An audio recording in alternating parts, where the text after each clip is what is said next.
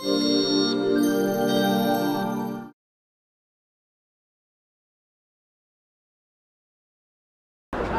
ci sentiamo ingiustamente trattati, non vogliamo essere dimenticati da questo governo, noi chiediamo a questo governo di avere una maggiore logica soprattutto verso chi è nel, in questo percorso lavorativo da tanti anni. Eh, ci è stato promesso un posto di lavoro, eh, poi ci hanno detto che questo posto di lavoro forse ci sarebbe stato dato nel 2026, non, non ci sembra molto, molto onesto insomma. Eh, sì, eh, l'Europa ha dato dei soldi perché alcune persone vengano assunte, ma non hanno detto assumi questo, assumi quello.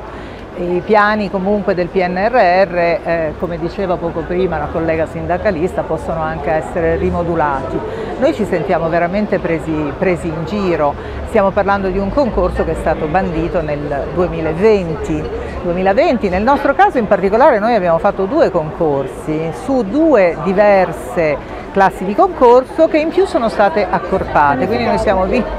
vincitrici di due concorsi ma in realtà di uno. Penso che possa bastare. Beh ovviamente lo trovo un grave sopruso, soprattutto perché il concorso fatto nel 2020 è stato un concorso altamente selettivo, lo dicono i numeri, siamo passati allo scritto il 13% delle persone che l'hanno hanno effettivamente svolto la prova e mentre per il concorso PNRR allo scritto ne sono passati l'89%, numeri del,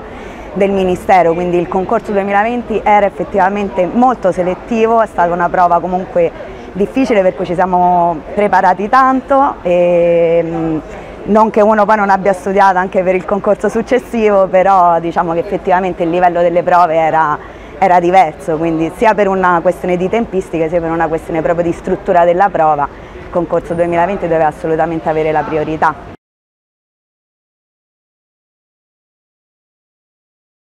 Governo deve tenere in considerazione il fatto che il nostro, la nostra eh, scuola ha delle graduatorie permanenti da tanti anni e che devono evadere prima tutti i nostri idonei, prima tutti i nostri vincitori e a seguire indire i concorsi PNRR. Certo. Se lo indicano prima perché le imposizioni, i tempi sono dettati dall'Europa va benissimo, però noi ci devono tenere comunque in considerazione. Non mettere lì un cantuccio oppure dimenticarci proprio. Peggio ancora dimenticarci. Perché questo stanno facendo, facendo finta che non esistiamo. Parlo per esempio del concorso straordinario 510-2020 che è stato letteralmente accantonato perché per mancanza di posti. Concorso che fino all'anno scorso nella mia classe di concorso, per esempio, faccio l'esempio concreto perché è quella che mi riguarda, A25 ha preso idonei fino all'anno scorso, anche se il vincolo triennale finiva eh, nell'anno scolastico 2022-2023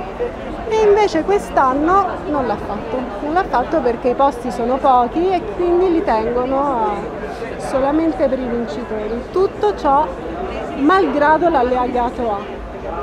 che non specifica? L'allegato A è quello che dice che eh, questi vincitori concorsi, dei concorsi del 2020 vanno assunti, vanno assunti secondo una loro graduatoria. Cioè, Poi questo governo ha deciso di inserire altri vincitori, boh, sarà anche giusto, però è una novità dell'ultima ora, insomma, non, non si può tornare indietro su altre decisioni cerco di parlare a nome di tutti, insomma non solo per la mia classe di concorso ma per tutti gli idonei del 2020. È stato un concorso che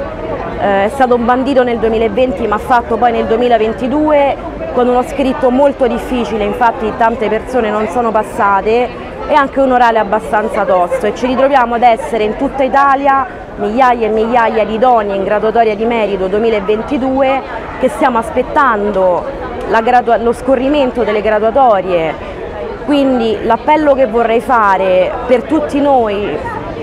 docenti abilitati poi tra l'altro tramite concorso 2020 di far scorrere le graduatorie che ci sono piuttosto che bandire concorsi su concorsi perché così la situazione non si risolve, rimangono migliaia di posti che vanno in supplenza e i precari non vengono mai stabilizzati, quindi veramente l'appello è facciamo scorrere le graduatorie di merito che già ci sono con migliaia di persone e poi gli altri concorsi si fanno in seguito quando effettivamente ci sono i posti, perché tanti posti che vengono banditi anche con i nuovi concorsi PNRR, i posti nemmeno ci sono. Quindi è un appello che io veramente vorrei fare a nome di, di tutti, fate scorrere le graduatorie perché il concorso di due anni fa è stato ultra difficile tutti noi ci siamo meritati il posto, il posto poi ce lo meritiamo tutti,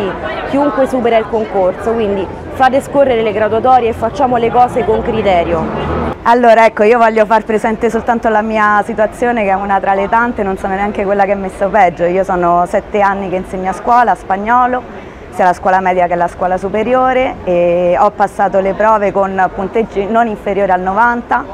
non per vantarmi ma perché comunque ce l'ho messa tutta. E starei adesso per fare di nuovo il spagnolo alle superiori, sono al mio sesto concorso quindi diciamo non sono una novellina. E direi che il merito, questa parola merito di cui tanto ci riempiamo la bocca l'abbiamo ampiamente dimostrato, quindi ecco non ho altro che il mio esempio che è l'esempio di una persona qualsiasi perché siamo tutti così, il merito ce l'abbiamo, adesso ci tocca l'assunzione.